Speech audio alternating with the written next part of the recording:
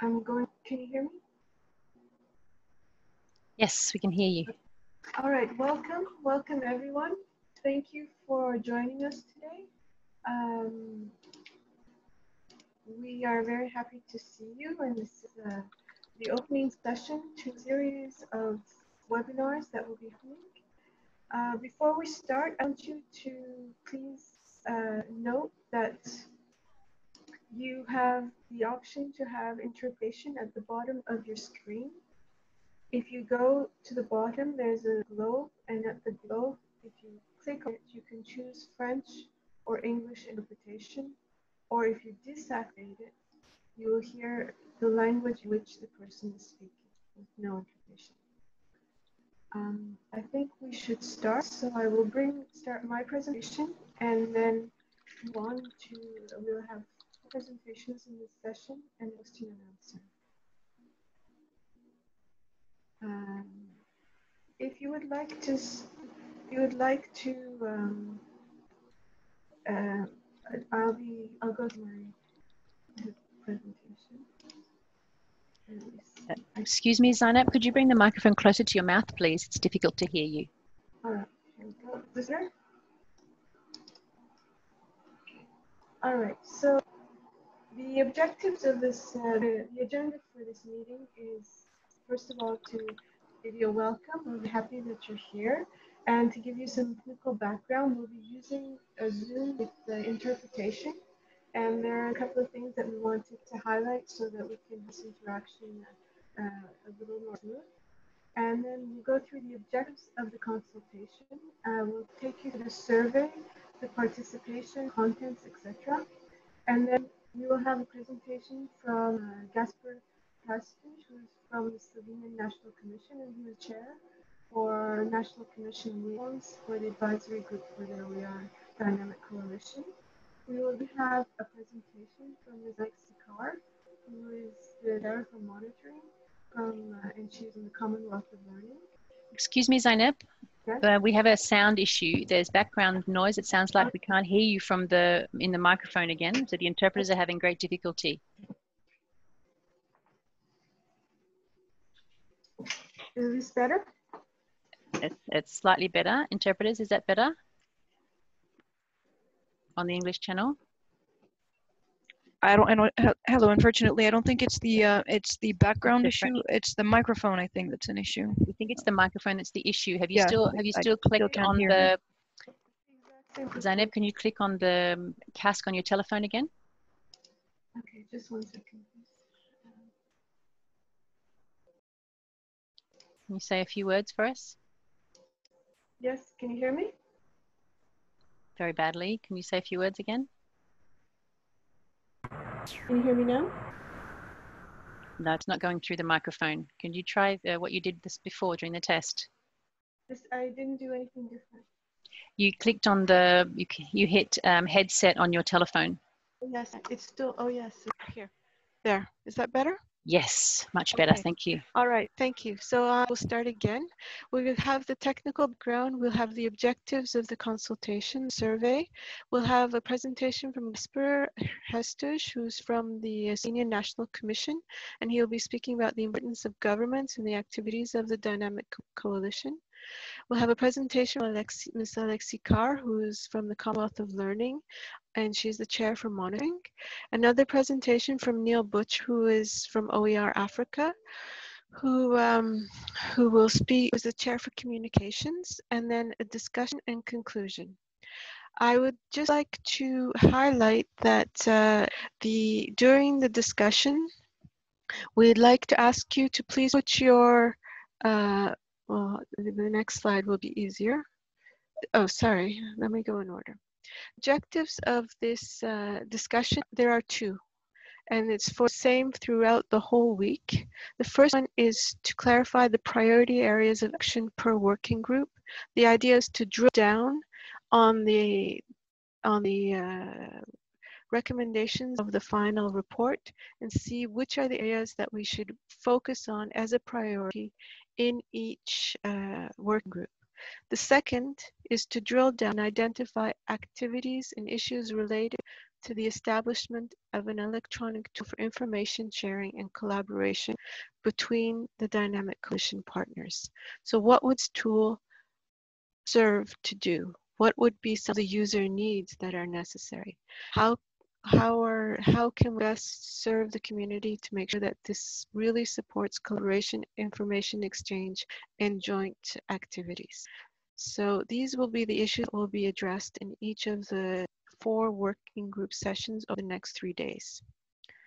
Now, um, I'm trying to change. Uh, just some technical points. If you want to speak and ask questions, please use the Q&A box, not the chat, but the Q&A box. Uh, if you want to, uh, eh, the chat uh, is uh, we we will be asking just to send you information, but we need is we in order to maintain some sort of form to the discussion, we need to work in chat. If you have a question, please raise your hand, and we will have we will call on the on the on you on the questions after the presentations. Finally, in terms of interpretations, as I mentioned earlier, if you click on this uh, icon, you will see you can choose English or French interpretation. And in this regard, if you don't choose either and don't activate it, you will hear what is being said on the screen in the language that is being said. Also, the session is being recorded so that we will have some sort of uh, record of the different discussions that we could go back to if we need to just for the report. Um,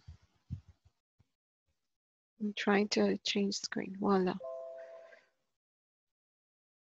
In terms of the background to this discussion, as you know, and I think many of you were part of this discussion, we had the Dynamic Coalition launch in March 2020. And there was a final report which is available online and which I sent to you with the invitation, the link to, in English and French. There was establishment of the working groups and the working group leads. There was the survey which was sent and which many of you uh, participated in. And this is now the consultation. In terms of the working groups, there are four thematic ones, capacity building, policy, inclusive, equitable, quality OER, sustainability. There are four transversal working groups on communication, monitoring, liaison with national commissions, emerging technologies, and AI.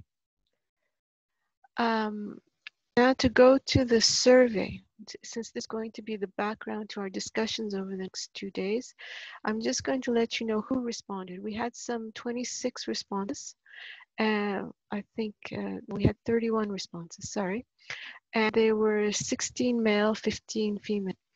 And that's quite good because it's not a very large response. It was a shorter time period than uh, the, it was available a shorter time period than the the uh, dynamic coalition discussions in March, but it was a means to have a basis for our discussions all together today and this week.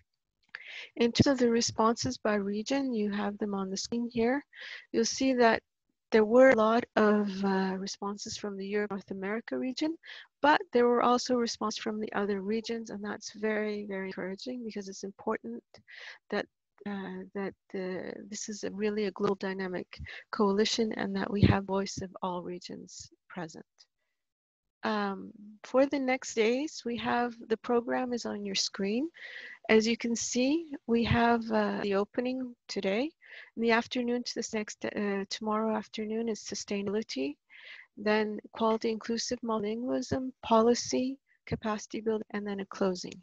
If you want to register for other sessions, you may do so by just going to, uh, just going, I think you've already registered. When you register one time, you've registered for all of them, and you're welcome to come to this one or as many. There's one thing I should mention that if you give your um, your ID to someone else, they will come as you according to the system. So you might want to invite them to register directly themselves at the link which was sent earlier. Um, so the chairs of each of these sessions are the chairs for the advisory group and for the working group of the uh, in the OER Dynamic Coalition. And uh, sustainability, it's Ms. Lisa Petrides and Tel Amiel. For multi-inclusive multilingualism, it's uh, Professor Bandalaria and uh, Papa Youga Dieng from OIF. And policy, we have Jane France Agbu, who's the OER chair in Nigeria, and Maria Soledad uh, Ramirez Montoya, who's the OER chair in Mexico and also the chair for policy. For capacity building, we have Dr. Jihan Osman in Egypt and Dr. Skander Genia, who is uh, at the Ministry of Education in Tunisia. Uh, and in the opening and closing, we have the chairs, uh, Gasper, as I mentioned earlier, Mitja and Alexi, and also, I'm sorry, I should put also that Neil Butcher will be speaking here also on communications, is the chair.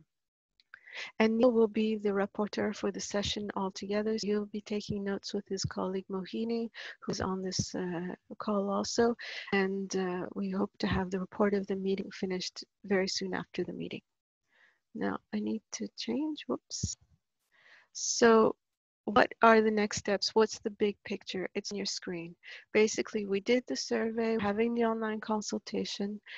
In September, based on the outputs of this, uh, integrating them into it, we'll be starting the development of a communication and collaboration system. We'll be launching projects in the areas of the working groups. And then we'll take stock of this sometime at the end of this year to make to see that everything is on route. Um, so it's all, and to, we started this only in March, so um, we hope that this will be cool, fast enough. Now, there's one thing I want to just bring up in terms of the inputs to the survey and inputs to the different activities. It's not all the same people all the same times as the people who participate. Everybody was invited to participate, but I think there is a question of um, availability and we are all very busy. So there were a very large group who participated in the OER Dynamic Coalition launch, which went on for one month. It was a very extensive time. And it was also a very special time in the planet when uh, many, many countries were being locked down. Um, and then there was uh, the dynamic uh, the consultation survey, the people who have participated in the survey are not all the same that participating in the consultation. So there is an overlap. And this is very good because it provides a me to have a different variety of views and to have a multiplicity of uh, ways forward. With that, I give the floor to Gasper, who will speak to you on the importance of national commissions. Yes, uh, I hope that you can hear me.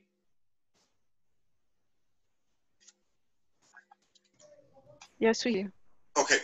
Um, thank you, Zeynep. Uh, it's really many of you uh, still remember me from from the overall process of the of the uh, for for the OER recommendation.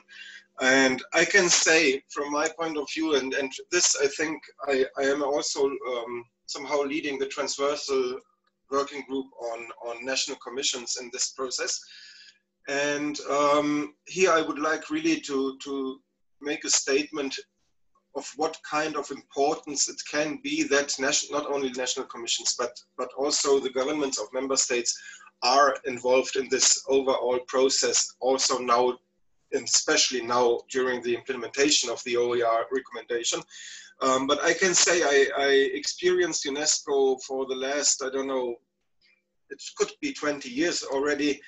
And uh, I do not remember that any uh, recommendation that was adopted by, by UNESCO's member states um, was um, pushed through such an open and inclusive process like, like uh, in this case for the OER recommendation. The overall start was uh, the start of the uh, cooperation among UNESCO, our OER chair in Ljubljana, and of course our National Commission in the framework of the overall process uh, of the recommendation before its adoption also through the organization of the Second World OER Congress, which was, of course, not organized by the Slovenian National Commission, but it was hosted and also supported by the Slovenian Ministry of Education, Science and Sports. Um, so here we can see also, and Zeynep will confirm, of course, and other colleagues can confirm, like Mitja, um, that the process wasn't easy. It was uh, a four-year process. And if we remember the, all the discussions uh, among diplomats and experts in the executive board sessions, um, where we also, okay, we had, we were lucky because Slovenia was at this time a member of the executive board, but we have seen that also a small member state, um, not a large and rich one like Germany or at this time still the US or other countries, but a small tiny little country from southeastern uh, Europe uh, was able and strong enough to somehow push other uh, much larger member states to somehow see and confirm that this uh, process is uh, uh, worth enough that they that they um, support it and that they cooperate. And I can see it now. Um, the way how it came up now, the dynamic coalition, we talked about it already during the uh, World OER Congress. The ideas came up and now after the launch of the uh, dynamic coalition, and I have checked, okay, I wasn't with you uh, through the time now after March, but uh, I have promised not only to Zeynep, uh, but also to myself, because I think it's really of big importance that also not an expert in the field of open education, but a representative of a UNESCO National Commission, so a representative of a national government can be of, of um, added value also of, uh, for, for this for the success of this coalition. And I agreed with, with, uh, with this and I see that it's really still worth because I can see what, what uh, happens when also, I don't know, a ministry it's not in our case, unfortunately, but for example, in Germany, for the last years, um, the OER movement receives still quite a nice amount of fundings for the development of OER, especially in Germany and German speaking countries. And I think it's, it's really important to, to stress this, that it's worth, I don't know, I will give the communication again to all national commissions uh, in, in this world. And, and some of them are listening to me. And I think that it, it came uh, over to all of you who are listening now to me uh, that that I still have this enthusiasm and uh, I confirm and and I agree that it's that it's also for myself in a personal capacity um, of, of a huge value to be part of this team. So for now, I would like to, to thank you for your for your attention and I will stay with you uh, um, as much as possible during during the consultations this week. And thank you very much.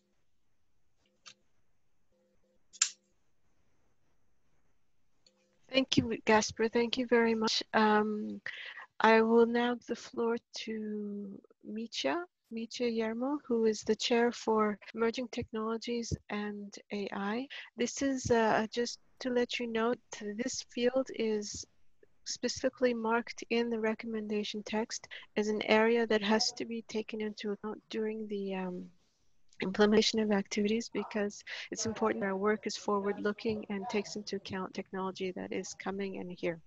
Nirmo, please go, uh, uh, Mitja, please. So hi all, um, I hope that you can hear me. Um, uh, so um, there is quite a lot of work that we did and uh, we are doing still in the area of how to actually ease uh, the use uh, the, use of OER. So uh, what we find out um, in the course of the development, uh, being involved in the OER uh, community, is that um, let me check if this works. Um, uh, trying to move slides for, uh, uh, no, can you go back? Neil, is it me or is it you doing this? It's you. It's me. Trying to get back. Uh, you have to you have to roll it with your your uh, your mouse. I'm doing that, but uh, it doesn't really work. Uh, Neil, can you take over? Uh-huh. This.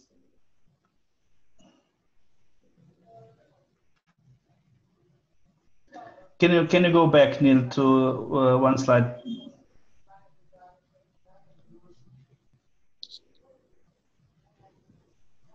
Back.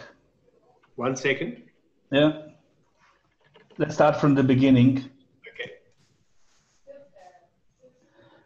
Yeah, okay, so next slide.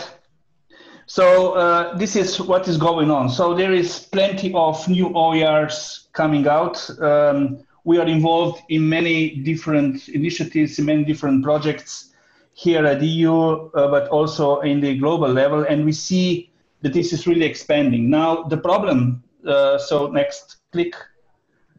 Uh, the problem is that uh, those OERs are in various isolated sites. They're in different modalities, the various formats, language diversity. I mean, everything which is there is mostly in English, but still there are plenty of OER elements that we are not looking at or not using because they're in different other languages. There's various formats. So you have everything. Can you go? Uh, so sorry.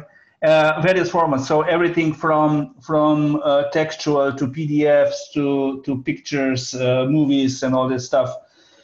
We don't know about the rights, which are very, whether these rights are there uh, and the proper um, proper licenses are assigned to to this content. And in most cases, you have dead links, different levels of quality and so uh, when you talk to, to people, and particularly teachers who are actually also the creators of OER, and ask them, so why are you not using OERs? They will tell you, well, those are the things. This is why I'm not using OERs. So now, when we when we saw this and when we discussed about these issues years ago already, we and since we are involved in the development of various uh, various algorithms from the from the broad range of artificial intelligence, we find out that the most of these cases can be actually solved uh, with the AI that we have. So next slide. So for example, uh, some of the things that we already do, and AI can bring in as a value to to and to to grasp the OER problem. So it actually is a that uh, it's very easy to gather content, to do content cleaning, to do the content structure, and this is independent on modality. So could be in any type of modality, could be in any type of language, any type of uh, alphabet. Uh, we do, and you know that, and you're using that already. So we do automatic translation and we do cultural adaptation because we are able to understand uh, what is the background knowledge that actually is then um, uh, influencing the, the, the content or the services of OER. Then on the other side, we do contextualization, adaptation to personal needs and preferences. So this personalized learning, uh, uh, non-intrusive contextualized learning. There is quite a lot of uh, work you, you know already, which is about learning analytics and user modeling. So on one side, understanding content, on the other side, understanding users would actually mean that you can do personalized learning. But there are also other stuff that we do, and those are the things that actually the, um, are uh, the edge right now in the research, in the particular in the area of artificial intelligence, is about not just about processing content, but also understanding content. And since you are able to understand content, next click, then you can do and you create something which will be, let's say, a kind of a global open AI teacher that will, on one side, learn from from content on the web, learn from content from people, and then actually provide everything in a structured way back back to the, uh, to the users. Next click. So, uh, for example, this is what we do. Um, those are the things that we are doing already. So there is a service running which actually automatically ingest, clean, fuse, and pre-process OER content. So everything that was said at the first, uh, at the first, second slide with, with the challenges are being partly solved already with something which is the pipeline like this. Uh, so on one side, we are collecting all this information, and then we are trying to uh, to use all these technologies that we have to understand, to structure, and to properly uh, properly uh, force this, uh, the, the content, the OER, into something that would be then useful for others to use. Now, the other part, which which is not there yet, but we have some prototypes ready, is about how to process the quality. How can you actually provide out of all these big chunks of materials, saying that those materials are, are you know, betterly prepared or of higher quality than the others. So kind of a ranking mechanism.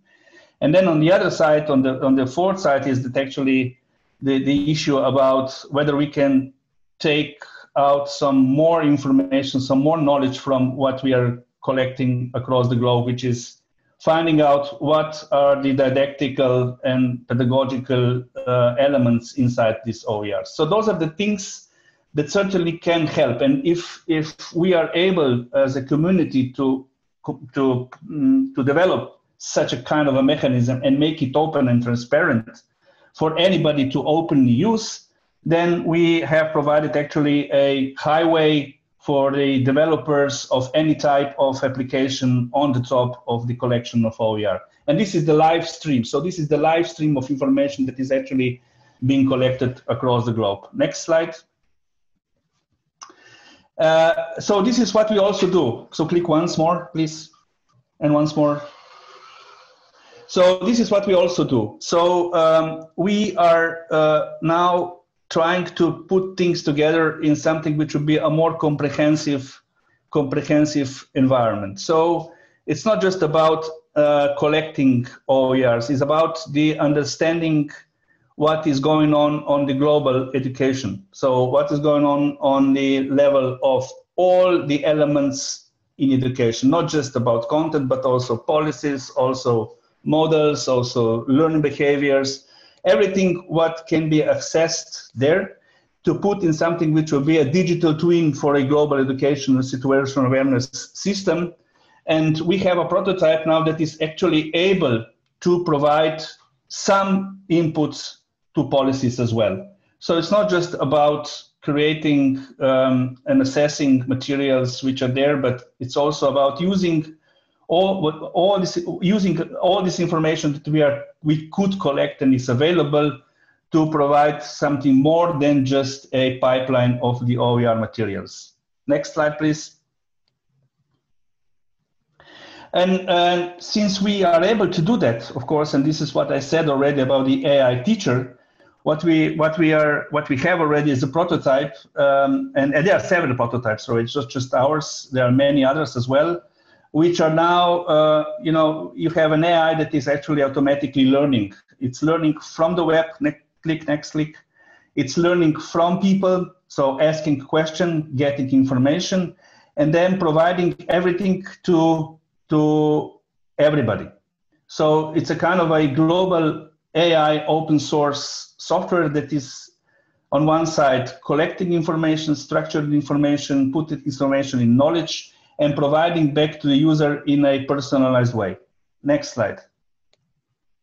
So what if we will really we be able to, to create this kind of a pipeline? So on one side, understanding content, so automatic ingest and cleaning fusion, the, the one I show you already. On the other side, understanding users, user modeling, user understanding, social and modeling. So if we know two things, and if we understand what are the perceptions, what are the needs, what are the preferences of each particular individual, we can create the career path. And then when you have the career path, you can actually create something which will be an adaptive learning environment for every and each individual. So it's more just, just about the OER. It's about putting all these bits and pieces, and those are already developed um, developed software elements that are that are being used in several applications into something which would be a comprehensive view, a comprehensive use of the global knowledge. And it's actually a transformation from what we are looking at today as an educational system, something which is educational system that is adapted to each particular individual. Next slide, please. And of course, it's more than just about this. So we are able to calculate competencies. Just go next slide one. Next one. This is just to show you how we do that. Next one. Then, since we, we know on one side, you've seen, we understand the OER, we have collected OER, and we understand the user, then we can create learning pathways. This is already uh, running. So here we are collect we are creating learning pathways for each particular individual based on what are their preferences and on one side what avail what are the OER available. Next slide. We can we are playing with micro credentials and qualifications. So here where AI comes in, of course, is when you do when you do automatic matching between uh, competency standards globally. You have many competency standards which are not matched. So if you would have today a micro credentials or credentials password, you cannot really go to the country X and this will be automatically translated. So this is what we, we, we also do with AI. Next slide, please. Next slide. Uh, and uh, so what I wanted to say is actually there are many things that AI can solve. What I, I'm always preaching is that we are, you know, using AI for years now in in uh, smart cities, in intelligent cars, in intelligent environments, in whatever sort of of um, of dom- human domains. But we did quite few things on learning, and this those are the things that we are now developing. That not just us, so it's it's a global community. They're available. It's not that this would be um, prototypes. It's actually a real software and is the aim of it is that this would be available to anybody to easily overcome all the challenges that has been set up in the the second slide so this is briefly what i wanted to tell you thank you thank you Thank you very much, Mitja. So as you can see from this presentation, there is a lot of work that we can think of in terms as we develop the projects further in the working groups where we can incorporate a lot of things in order to ensure that they can be very forward looking. With that, I give the floor to Alexi Carr, who's uh, joining us from Vancouver. So it's something like 2.30 in the morning for her, but she's here to speak on, uh, on monitoring and the importance of monitoring when the activities. Alexi, please. Hi, thank you, Zeynep. Um, yes, as Zeynep mentioned, it is quite late for early here for me, so um, I'll keep it brief. Also, too, knowing that we we have limited time and there's a few other agenda items to get through. Um, so Zeynep's earlier presentation uh, pointed out that the purpose of these consultations over the next few days would be to identify um, some possible actions going forward. So given that we're in these early stages of still discussing the possible actions, I'll just focus on a few broad points that are relevant to monitoring at this stage. Um, so basically looking essentially at why monitoring will be important moving forward and what we can keep in mind during our discussions. Um, so as you know, monitoring is positioned as one of the transversal themes, which cuts across the four thematic working groups of the coalition. Um, in broad terms, the monitoring serves uh, three purposes, essentially. So First of all, uh, it's going to help us to determine if we're on track to achieve what we set out to achieve. Uh, so this is generally the accountability or performance measurement kind of mechanism or function of the monitoring. Um, secondly, it's about informing improvement, right? So if we have a sense of whether we're meeting our objectives or not, um, then we can move forward and determine how to course correct or adjust accordingly. And then lastly, monitoring is important from an evidence standpoint. Um, so a lot of the earlier discussions, we've talked about this idea of research and how it's going to be key for evidence-based advocacy efforts. Um, so obviously monitoring, that's a, a, mechanism for getting data that can really inform this kind of uh, research, which is valuable for advocacy. So in this early stage, as we begin to think in more detail about some of the uh, proposed activities or intended results, it's important to think through not just the immediate outputs, but also some of the outcomes and impact that are envisioned. Um, and as well as this, the relevant indicators that we might use to track progress. So the earlier discussions in March, which have been referred to previously, um, they generated a number of possible indicators for each of the thematic uh, areas. And these have been summarized in the final report on the OER Dynamic Coalition. So if you haven't had a chance to read through that, uh, that would be a very useful document to refer to. Um, these indicators covered both qualitative and quantitative indicators. Both of which are important. So the quantitative uh, tends to be easier to collect, but the qualitative gives um, a bit more depth and, and richer information. Um, at the output level, some of the indicators raised in those earlier sessions were, for example, number of OER, number of repositories, number of capacity building solutions. Um, towards the outcome level, indicators related to usage and adoption were raised. So for example, number of users adapting OER to their context, number of countries that have produced action plans for sustainability, overall adoption of OER in education systems. Uh, the report also presents some suggested indicators related to impact of OER on teaching and learning, um, so specifically on behavior change, uh, changes to practice, and learning outcomes as well. Um, and so another main point that emerged in those earlier discussions, which I think is relevant uh, as we move ahead over the next few days, um, is the importance of focusing on this entire value chain of results um, so from outputs to impact, as well as considering the multiple stakeholders that may benefit in different ways from uh, the proposed actions. So yeah, to, to wrap up, basically, as we begin discussions over the next three days, I think it will be very helpful to just really think through in a bit more detail some of the intended outputs and outcomes of the activities that we identify, um, as well as how these link to the overall objectives and the recommendations, um, and to start to think about the indicators as well. So this helps to establish a shared uh, initial understanding of objectives, which will be key and I will be participating in working groups four and two because of some of the uh, time zone challenges, but um, I'm happy to discuss with anyone from any of the other groups if you don't happen to be in either of those two sessions. So thank you very much. And I'll pass it back to you, Zeynep. Thank you.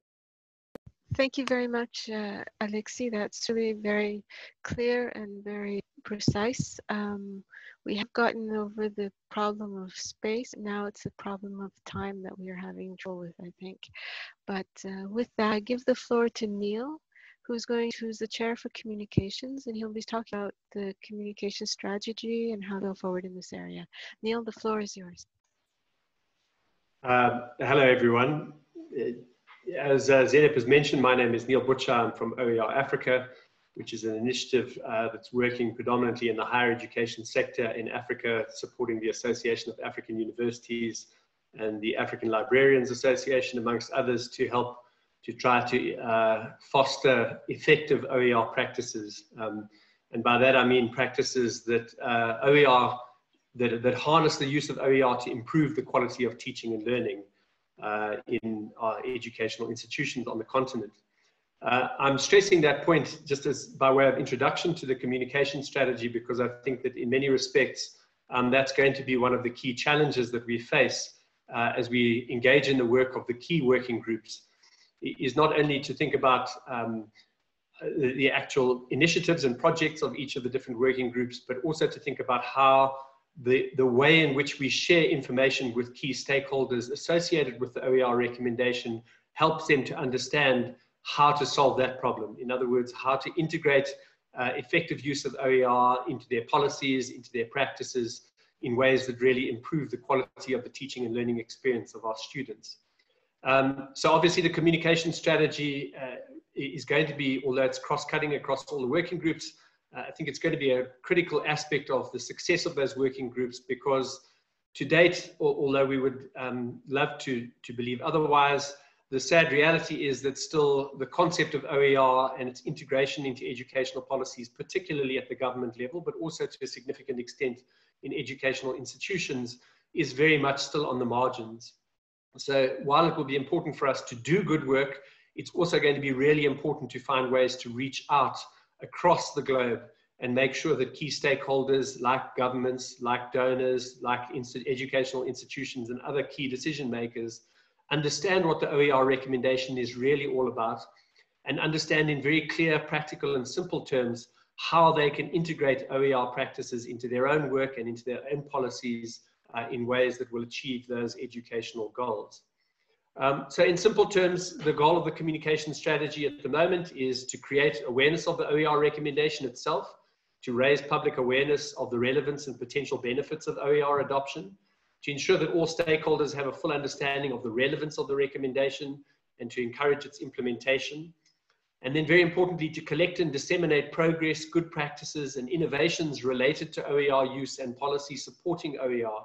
I think that area is going to be particularly important to integrate into the working groups um, because I think if we can give people from a communications perspective a clear and, and grounded practical understanding of how they can do these things through uh, illustrative examples, that will be a very powerful mode of communication.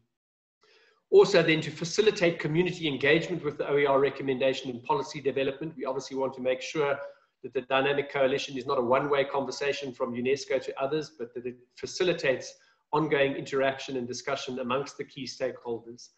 And lastly, to encourage sustainable business models and launch funding strategies to support OER use, um, which will come down the line.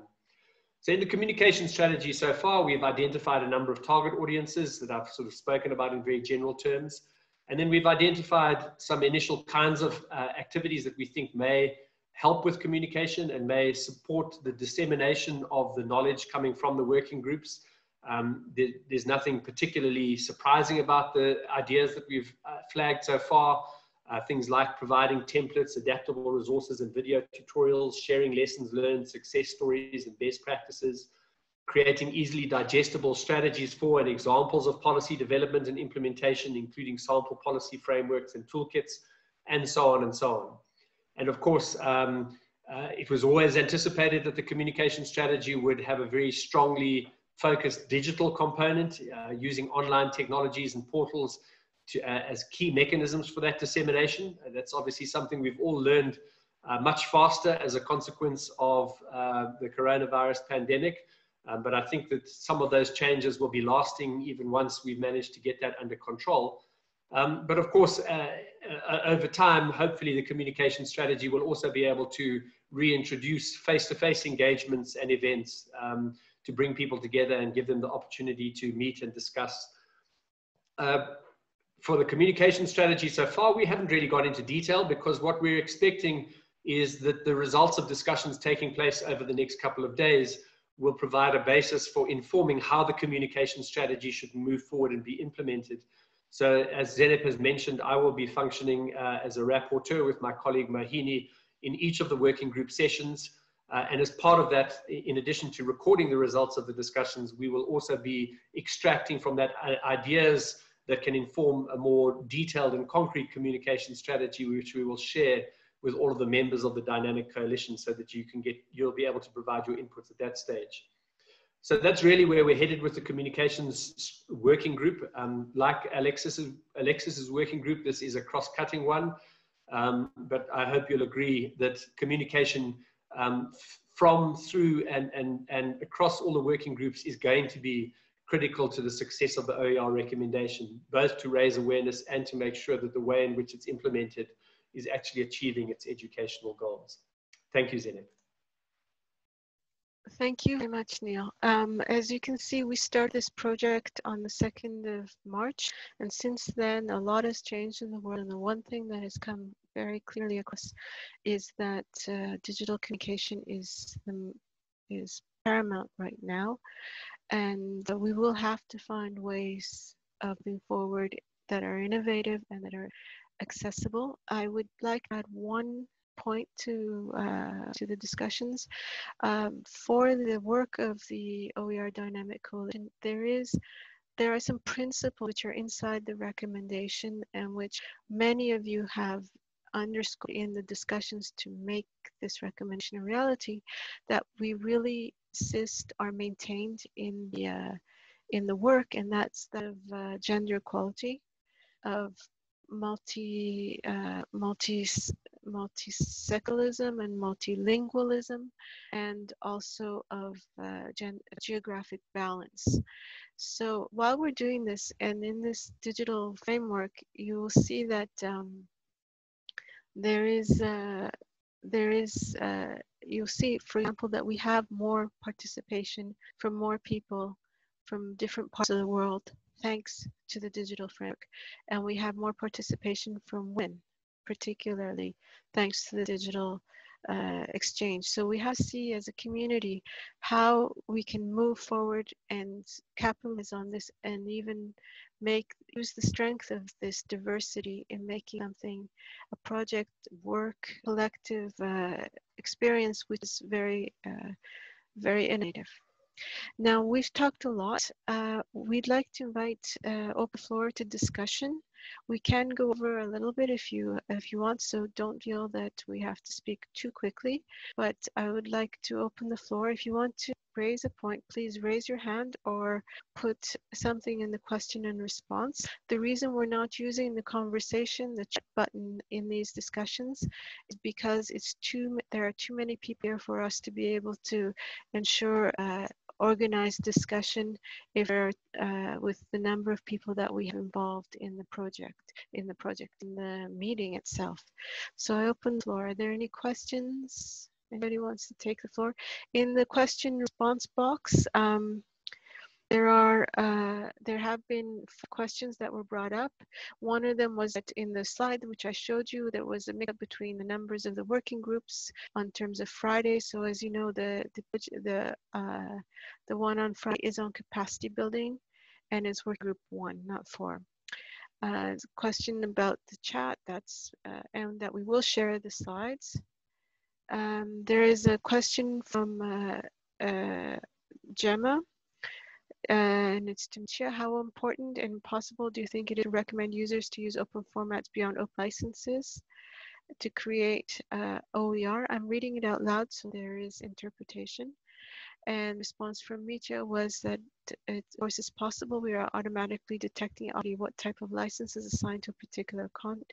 What we are doing today is categorizing content based on these detected licenses and just the ones which have the proper license. We are flagging the others. So we are collecting also content where license is not clear that can be further resolved directly to the creator.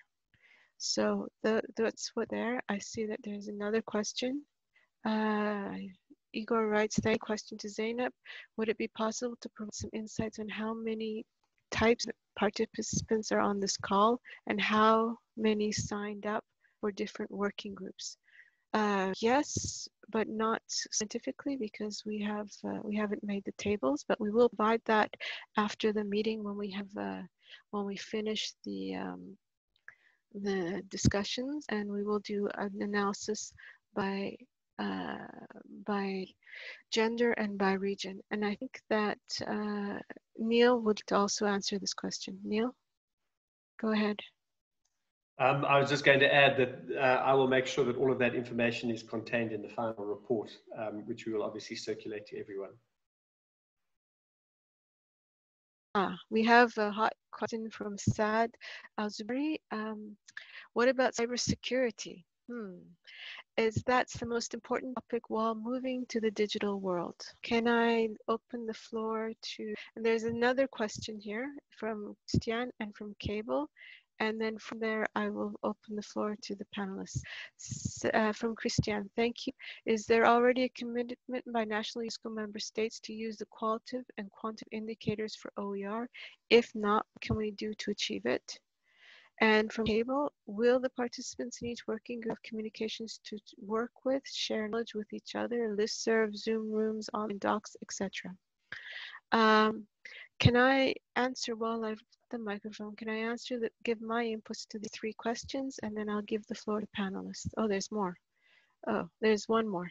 Uh, I didn't. I don't. I didn't fully understand if Mitja's research is funded on a national or international level. Is it OER Slovenia or an international institution that supports the research on AI and OER? Okay, I will, I will answer the ones that I have. And uh, in terms of cybersecurity, it's an issue that we will have to address. And in the document itself, in the recommendation, there is a talk of data protection, which was put in there specifically by a number of states and it's definitely a very important topic as we move more and more into the digital world. And I will ask my panelists also to provide insights to that. In terms of commitment by national member states to use qualitative and quantitative indicators for OER, um, what there is is a commitment to do monitoring based on the text of the recommendation, and that is to monitor progress on the use of uh, on the implementation of the recommendation. In terms of quantitative and qualitative indicators, first of all, we have to figure out exactly what and how and why. So we'll have to see in terms of the work that we do in the OER Dynamic Commission Coalition, we will have to um, first decide what we're doing and then see how we're going to measure it and monitor it. So that is something that is going to be a work in progress in terms of national commitments. There are national commitments that is available on in the recommendation and it's section on monitoring, which is the final section of the recommendation, which is available on um, cable. In terms of the working groups, uh, we will be working on uh, we, the basis of the discussions are within those two days and it's going to be on the uh, in, during the discussions and we will come up with the outcomes during that discussion and share with all. This is these working these online consultations are for the period which they are in order to produce the result which we have said, and we will not be uh, we will be doing the work at present time during the conversations. Um, in terms of Mitja's research, I give the floor to um, to Charlotte, uh, sorry, to Mitja.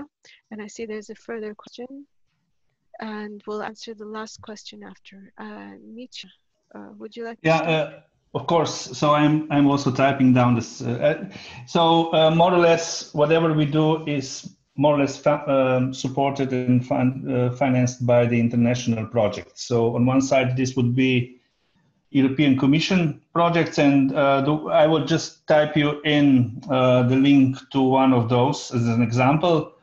So uh, with AI is like this. So in um, we we are involved in different sorts of uh, of research and development with different domains. So everything, as I said, from from smart cities to to cybersecurity as well but more or less all bits and pieces that we're developing are fitting into the same uh, code library, and we are using this code library now to to create this pipeline of uh, technologies that I, I, actually presented. This is number one. Number two is that we, uh, since we uh, set up a newly the first AI UNESCO AI International Research Center at our institute recently, now, the, the work on, on AI education is being um, uh, is started there. So the ones I've shown, the, the one of the slides I've shown, which is the digital twin of the country of the globe, th this is actually being now developed inside uh, under the umbrella of this UNESCO AI Research Center. And this is not just Slovenia, is not just our institution, it's international, it's international team of experts.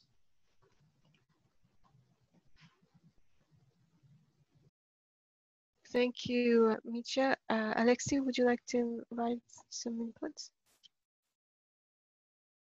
Alexi, are you here? I think we have lost Alexi. Yeah, I'm here, Zeynep. Sorry. Oh, okay, Yeah, so um, in, yeah, go ahead. No, you, please.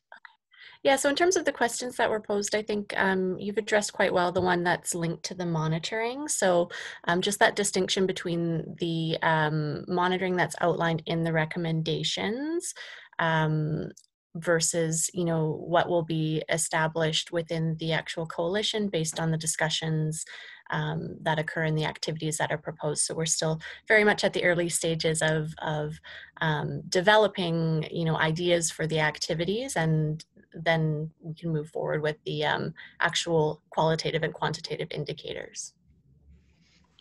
Okay, thank you, Alexi. Would you like to uh, add anything? Um, maybe just as an add-on to your responses to cable, uh, I think it's also just useful, cable, to differentiate between this phase where we're the, the the chairs of the working groups are really just tasked with assembling strategies for each working group, um, which then UNESCO will consolidate into an overall plan for the dynamic coalition. Um, and then the, the later implementation, uh, as I mapped out with the, uh, with the communication strategy, once we get into that implementation phase, obviously there's also going to then be uh, a range of communication tools that, that uh, people are involved in the dynamic coalition and the work of the OER recommendation will be able to use to work with and share knowledge with one another. That's going to be a central aspect of the success of implementation, I think. So this is just the initial first phase as per Zeynep's slides uh, that she shared earlier. I hope that makes sense. Okay, and I think uh, Gasper has left us, so I cannot ask him. Uh, Gasper, are you there? No, I don't think so. Yes, Oh, you're here. Okay. Do you want to add anything? Uh, I had a call. so sorry. Okay, so shall we move on?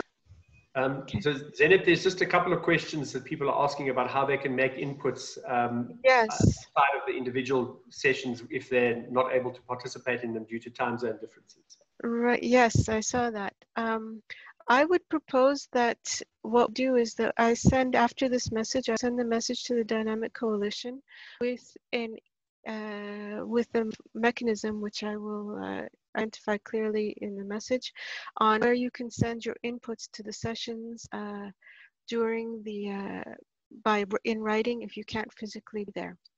Now, I just want, I think I should go systematically through it so that we make sure we address everything. So Leo mentioned, so thanks to all the speakers, and I'm reading it out loud because I want to make sure that it's also interpreted into French. Thanks to all the speakers for this fascinating introduction. Some mention was made of the results of consultation and survey that has already taken place. I wonder if these results are available to consider in advance of the working group meeting. Yes, they are and I'll send them out after this meeting. Congratulations to the Dynamic Coalition on progress on the OER recommendations far. A practical question, how do you envisage input during the discussion consultation from times that do not coincide with the synchronous meeting sessions? Uh, I think we're going to have to find a way of doing that, sending in the participation. Uh, if you cannot attend any of the discussions, it's the same, but we can't engage in the decision-making process of the working group. First of all, just to make it clear, we had already opened up all the all the areas of discussion for a one-week survey. Actually, it went on for uh, more than a week, um, about 10 days. There was an open survey, and we invited the entire Dynamic Coalition to send their inputs, and the basis of the discussions in the working groups are your inputs to this survey. And so if you did not get a chance to answer the survey, uh, we cannot open it again right now because it's too uh, it's too complicated to do uh, at this late stage. But we will send a link, a way, a means for you to send inputs to the working groups. And uh, from Mr. Jose Bruno, in terms of sustainability and localization of OERs, how is it possible to collaborate with local partners? I think that's going to be a very important question, and I think it should be something which will be addressed inside the working groups. I will leave it also to my colleagues in the uh, in the on the panel to address this one also. Hi Zain, thanks for another great opportunity. Learning curve. Is it possible for us to thrash out the residu- issue of the aborted work? This is referring to another workshop um, that was done uh, with uh, Nigeria, and I will get back to Chris on this. Um, Christians, by the way, I cannot see all questions answered. I did see Cable's comment. It's there. It's uh, it's the last one before Leo Havemann's comment at 11:51. Cables wrote at 11:49. So I open the floor. Could I? Uh, are there any? Uh, can I uh, give the floor perhaps to Alexi? Do you have any inputs? Hi, Zeynep. Um, no, I don't have anything specific. Um, I think you've kind of addressed those questions on the point of sustainability and localization of OERs. I think, as you noted, it makes sense for that to to be fleshed out a bit in those um, the working group sessions that are coming up. Okay. And uh, Mitja, do you have anything? Uh, sorry, sorry, Zeynep. I was busy on typing and answering questions in the chat. So what was the uh, what was the Well, do you have any do you have any inputs to any of the questions that we just threw? I, I'm I'm typing in. Could you please Uh, read it out loud because we need to make sure that uh, it's inputted. So where it goes? So if I answer them, it goes Resol- resol- resolved. uh, answered.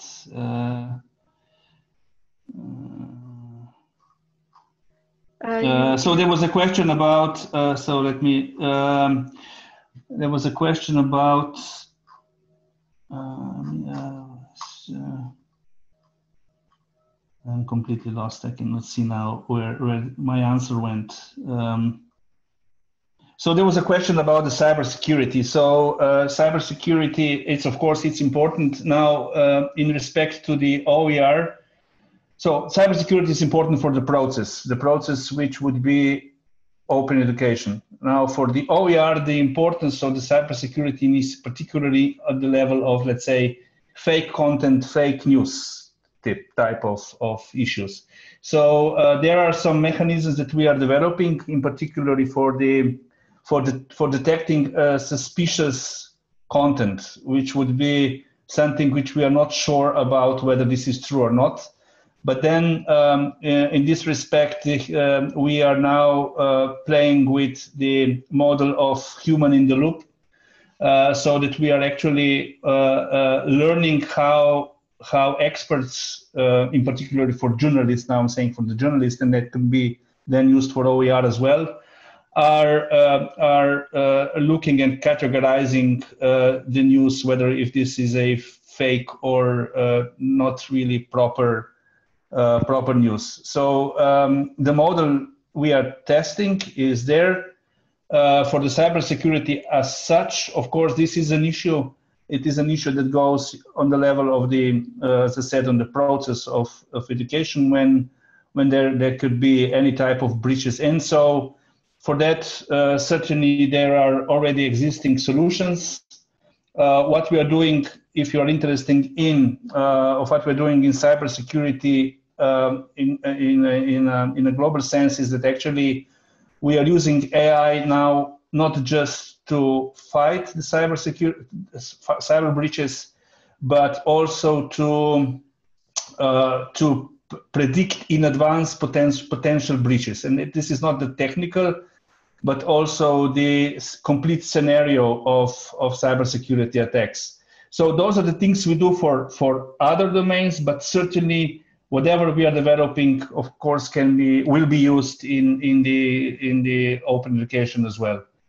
Uh, this was one question, and the other was about, um, and I'm just answering it right now. I think. Um, uh, or is it? Uh, the last one, I think. Conventional dynamic collision. Uh, aha. So Wayne, Wayne was Wayne was uh, putting the question about the. Um, so congratulations to the dynamic coalition team on progress on the OER recommendations so far. A practical question.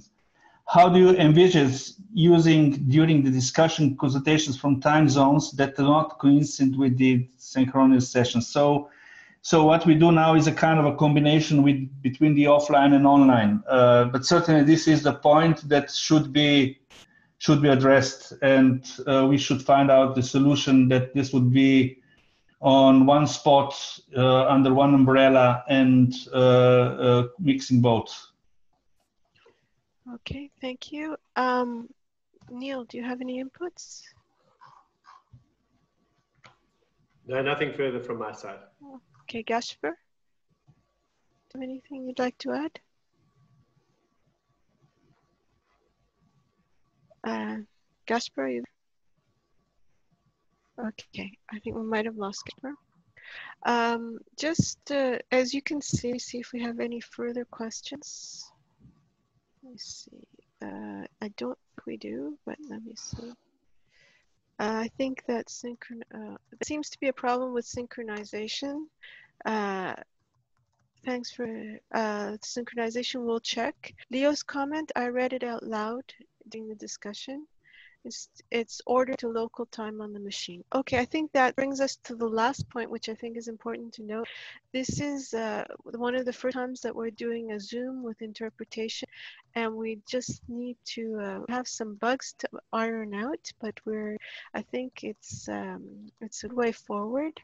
One of, and it does address the objectives of ensuring as, as much as possible inclusivity in terms of language and uh, and time zone and not time zones but place and now we have to deal with time. So we've got uh, we've got the geographic issue now but not the time issue. So what we have uh, if there are no further questions what I pose is that uh, we will we will send a response concerning a means to in provide inputs to the working groups that are on the uh, that you may not be able to attend because of time because of time constraints. And uh, in, in, the next hour or so uh, through the list of part that received the invitation to this uh, event. And we will um, we will continue the session. I'd like to thank you all very much for coming. And we look very much forward to your inputs to the discussions to come. And realize that this is uh, perhaps a new way of discussing and we have deconstructed this intellectual exchange that we would do face to face in a in most in circumstances earlier.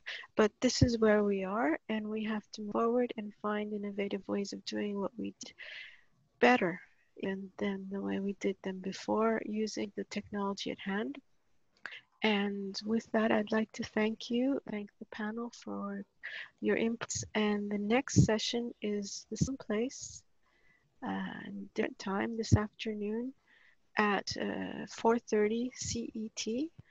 And it will be on sustainability and it will be uh, chaired by Ms. Jihan Osman, who's the chair for the sustainability issue. I'm sorry, not Jihan, I'm sorry, Lisa Petrides and Tel Amiel, who are the chairs for sustainability. Thank you very much and see you hopefully this afternoon if you can't and if, if you can. And if you can't, we'll send a means to send inputs to this discussion further to the inputs that you already sent using the survey. Thanks very much. Bye-bye.